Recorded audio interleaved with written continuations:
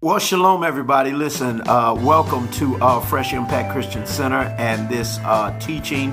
Uh, I assume if you're watching this teaching that one of three things has happened. Either you have become a part of our great fellowship for the first time, um, and you've given your life to Jesus Christ and decided to dedicate that life to Jesus Christ to become all you can be.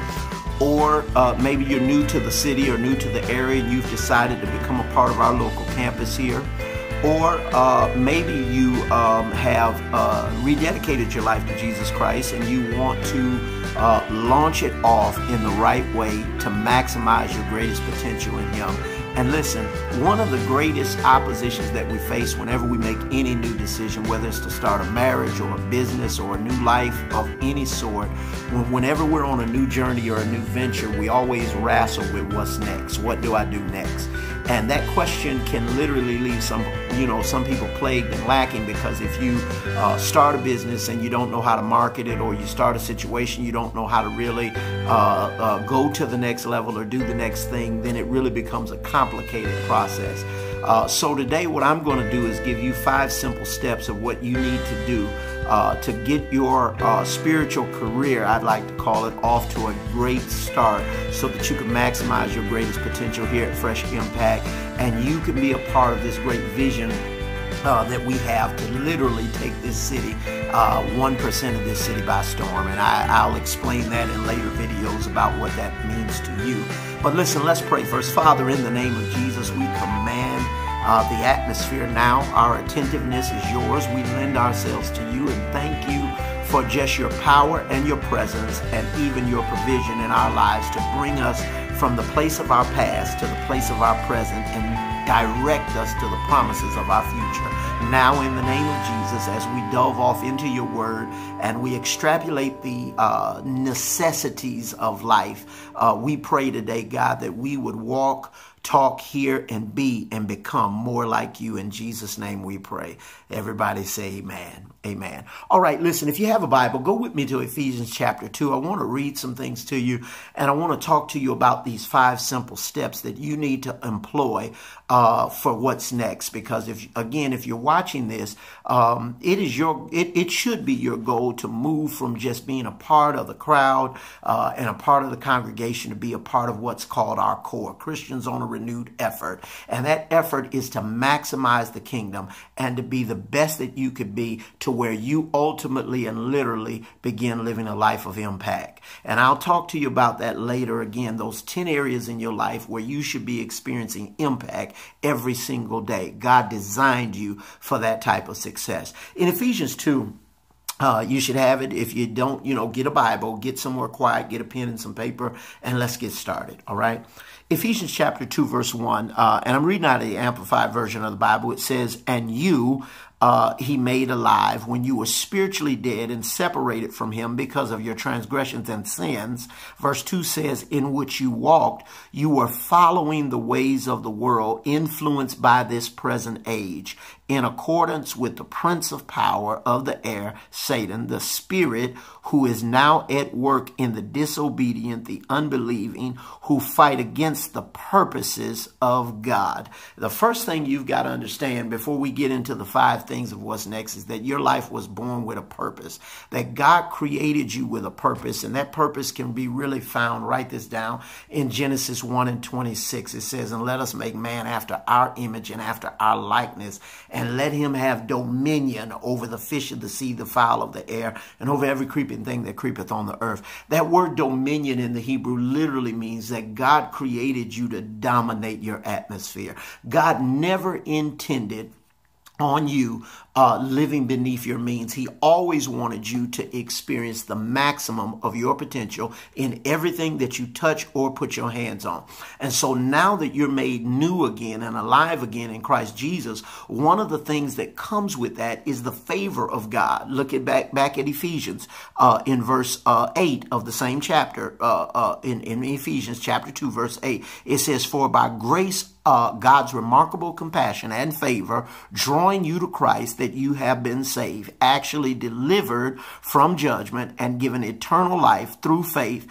And this salvation is not of yourselves, not through your own effort, but it is the undeserved gracious gift of God. Watch this now. Not as a result of your works, nor your attempts to keep the law so that no one will be able to boast or take credit in any way for his or her salvation. For we are his workmanship, his masterwork, a work of art created in Christ Jesus, reborn from above, spiritually transformed, renewed, and ready to be used. Glory to God. The reason why I like that so much is because what it really says is that the favor of God now extends itself to you. It is charis in the Greek.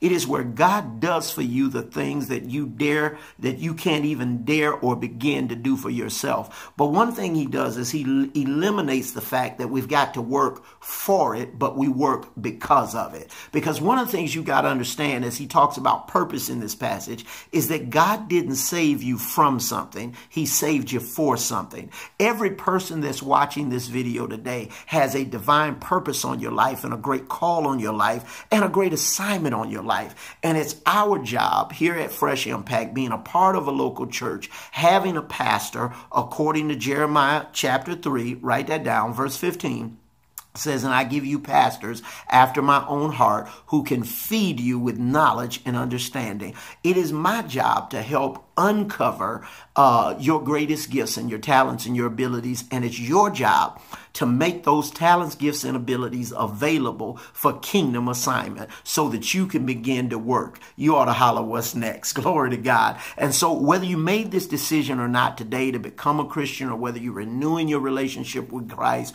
or renewing your vows, I really want to congratulate you for having the courage to literally make that decision.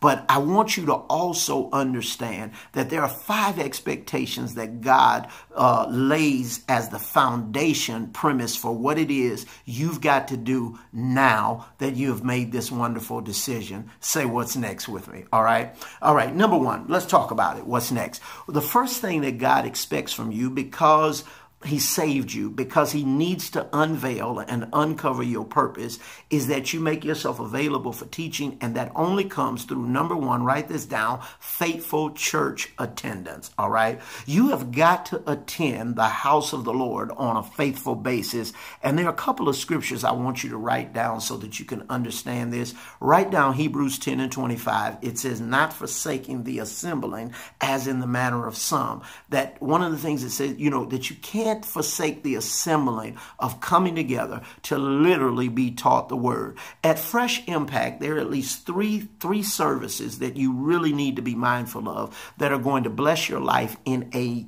unbelievable way and begin to, uh, as I said, uncover and unveil those gifts that are in your life and train and teach and develop you to become the greatest version of yourself that you can become. Number one, that's Sunday morning. Sunday morning worship is one of the most critical services. It is the first day of the week. It is your greatest gift to God. It is God's day. It's the day you set aside for His service. And there should be nothing that you allow. Don't even allow work. If you're working somewhere now, you begin to immediately pray for that favor of God, that God is going to give you the favor, even among your employers, to give you the opportunity to be able to be at church on Sunday. Why? Because you never put work before worship. Remember, in the Bible, according to the book of Genesis, work was designed ultimately to be a penalty for man's transgressions. And so that you no longer live within the penalty, you have to operate within your priority. And that priority is putting worship now before work. Glory to God. That was the mistake that Adam made. Remember, Adam missed worship. He missed showing up for God in the cool of the day. And then ultimately, as a result of it or a penalty of it, he end up having to work. So what you've got to do is come to the place now where you understand that Sunday morning service is paramount. It's at 10:30 a.m. every Sunday morning and it is absolutely paramount. Now, if you want to really maximize your growth possibilities, if you want to put yourself in the greatest position to achieve the greatest things for the kingdom and to do the greatest work and fulfill your assignment to your family, to your faith, to your friends, to your finances, and yes, even to your foes. Because believe it or not, you have an assignment in your enemy's life, and they have an assignment in yours. The the the second thing you want to write down is what's called our deep thoughts development. Deep thoughts development, all right, happens at uh, 8.30 every Sunday morning. It's from 8.30 to 9.30. Uh, uh, actually starts at 8.45. I apologize. 8.45 to 9.30.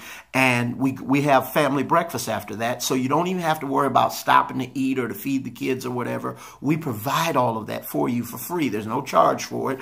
All you're doing is coming out and you're getting deposited in by the man of God, your pastor, uh, that next level of teaching, that next level of training, that we really deal with some intricacies that are necessary to your kingdom uh, assignment. All right. The third uh, service that you want to write down that's absolutely important is our Bible study. All right. Our Bible study is on Wednesday nights at 7 p.m. Now, uh, because of uh, the creative nature in which we operate and our desire to have impact throughout the world, sometimes we have our Bible study literally for a month on what's called telephonic Bible study. We have it over the telephone, uh, and then we have our local Bible study in person. All right. Uh, as we're continuing to enhance and grow, that may change, but whatever it is, that Wednesday hour is dedicated to you and God. Bible study is 90 a 90 minute empowerment development is from uh, 7 to 8.30 and then we're done, all right? Uh, so you want to set aside at least that amount of time for Bible study and not forsake the assembling of the brethren. Why? The Bible says in Acts 2, 42 and 40 uh, through 47, it says, Then they continued steadfastly in uh, devoting themselves to the instruction of the apostles fellowship, uh, breaking of bread, and of prayer. All right. They continue steadfastly. They continue faithfully. You have got to faithfully make yourself available for the deposit of God's word in your life so that you can get instructions from God to be the best you you can be. If the word of God says in Psalms 37 and 23, write that down. I always tell you to write something down because I want you to verify that I'm teaching you the truth from the word of God, not just up something as I go. All right. So uh, Psalms 37 23 talks about the steps of a good man are ordered by the Lord. And the orders of the Lord uh, are his instructions. His instructions is in his word. The way you discover the orders of God is through revelation. And the way you discover revelation is you got to have a revelator. Romans 10 says, And how shall they hear? Uh, without a preacher. If you don't, uh, Romans 10 and 1 says you'll go about to establish your own righteousness and really have not submitted yourself to the righteousness of God. In a relationship of love, you always want to know how to love that person according to their terms. And one of the great terms of God, to love God the way he wants to be loved, is that we make sure that we don't forsake attending church. So we have to faithfully attend the fellowship of God. That's step number one. All right. What's next? Say that with me. What's next? All right. Number two, the second thing you want to do is you need to faithfully serve in church. Now, I know you may not be a singer, you may not be a preacher, you may not be a pastor, or you very well may be. Whatever your talents, gifts, or abilities are, every single person in the body of Christ has the great privilege of the call of service on their lives. I say a privilege because serving is not a right. You don't have a right to serve, it is a great privilege to serve. And to serve God the way He wants to be served, you've got to surrender your body, the Bible says, as a living sacrifice sacrifice, Romans 12 and 1, and verse 2, holy and acceptable unto God, which is your reasonable service. Verse 2 says, and be not conformed to this world, but be transformed by the renewing of your mind, that you may prove what is the good and acceptable and perfect will of God. Jesus said it this way, I didn't come to serve, but to, I didn't come to be served, but to serve. Every person has a ability that you can bring to the kingdom. I don't care if it's your smile, smile, and your gift may be just standing at the door saying, Welcome to Fresh Impact. I'm so delighted to have you today. And you make people feel good. Maybe it's to be an adjutant and help the man of God. Maybe it's to be on our security team and work in our parking lot. Maybe it's to be uh, uh, to use your clerical or computer skills or your musical skills. It may not be singing, but maybe you'd like to work in our sound booth or our technical side. Maybe you'd like to work our video side. I don't know. But whatever it is, you have a a talent, a gift, or ability, if it's working with children, uh, developing a singles ministry, or whatever, that can be used uh, in, this, in, in service by God. Going through this particular training begins to set the stage for that because you've went through all of the prerequisite process that you need to go through to put yourself in the best position so that you could be used by God. But one of the things you've got to do is you've got to faithfully serve in the church. When I was growing up, they had a saying and they would say, you know, an idle mind is the devil's workshop. And I never really knew what that meant as a kid growing up. But as an adult, I begin to understand that when you're idle, God doesn't want you to be a spectator. He wants you to be a participator. My grandfather used to say, God don't want you to rust out. He wants you to wear out. And so when you're idle, uh, because you don't, uh, you're not doing anything, it opens the door for the enemy to unlock and unleash all of the tactics, schemes, tricks, and uh, you know, uh, diabolical plots that he has on your life. And you don't want that in your life. So what you want to do is find your niche. I tell you know we uh, that's one of the, that's a great business term. We you know uh, they say uh, you know in business and in real estate you know when a person tries to just do everything they haven't found their niche and when you don't find your niche you're kind of all over the place.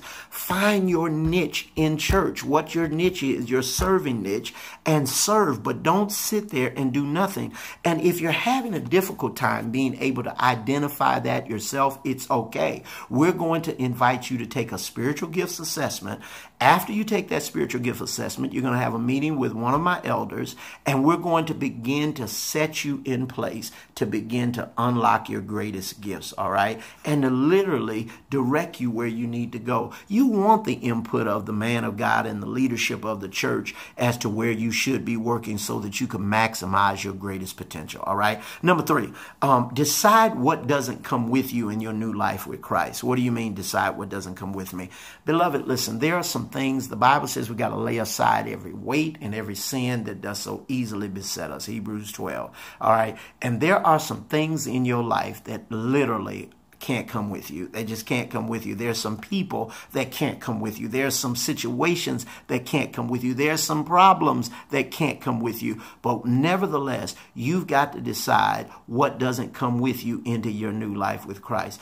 Old things have passed away. The Bible says, Behold, all things have become new. You have got to realize that even if you can't give it up today, it's got to be a part of your overall long term plan that there are some things you know you've got to give up and you want to begin working on them, okay? All right, so don't, don't panic. Don't flip out. Well, I'm not ready yet. Then if I can't, no, Let's begin the process of working something in you so that you can then work something up out of you. All right. Number five, what's next? All right. Number one, you faithfully attend church, faithful church attendance. Number two, faithful in serving the church. Number three, decide what doesn't come with you in your new life in Christ. Number four, have prayer and Bible reading every day for at least 10 minutes. All right. Now, I want to tell you where to start. There are one or two places you can start. I'm going to let you decide. But you need to start in one of these two places. Number one, here's my preference. You know what? Let me pastor you. Let me lead you. I'm going to tell you where to start. All right. The first place I want you to start at in your new journey with Christ is I want you to try and attempt to read a chapter of Proverbs every day for the next 30 days. All right. I want you to try to read a chapter of Proverbs for the next 30 days every day. I want you to email me at impact the number seven life at gmail.com and ask me, Pastor, what's step number two? All right. I want you to read one chapter of Proverbs every day and just say a quick prayer. If you don't have know how to pray, it's okay. I'll send you a written prayer. Just email me at impact the number seven life at gmail.com. Say, Pastor, uh, I'm one of your new uh, family members and I need a written prayer. I need to learn how to pray. Okay? We're going to make this easy for you. We're going to make it work for you. All right? So I want you to concentrate on at least 10 minutes a day. It shouldn't take you no more than 10 minutes to read one chapter and then to say a quick prayer. And that's how you go. All right? Finally. What's next? Decide to grow closer to God. Listen, you made a great decision to join the church. You made a great decision to allow me to be your pastor, but you've got to decide to grow. You cannot stay in the place that you're in and get the results in life that you're looking for. You've heard the great colloquial state, uh, statement uh, that it's insanity to keep doing what you're doing and expect a different result. If you're not getting the results that you've been wanting in life, in business, in relationships, in family, in your physical man, and certainly not in your spiritual man, then you've come to the right church because that's what we do. We're about impacting lives, all right? Uh, we're the place that loves to engage in impacting lives. So listen, I need you to make sure you make that final decision that you're going to grow. And listen, after that, the journey becomes so much more pleasant. Why? Because I'm going to teach you three things that you'll hear me say all the time. I'm going to teach you how to live. I'm going to teach you how to love. I'm going to teach you how to laugh and I'm going to teach you how to matter. All right, that's four things. I'm sorry. To live, love, laugh, and matter. I'm out. Uh, we'll be back to get you part two of this to keep you on your journey toward growth. And I look forward to teaching you these principles and being your pastor. I love you. God loves you best. I want you to remember live, laugh, love, and matter. This is Bishop Thomas. I'm out.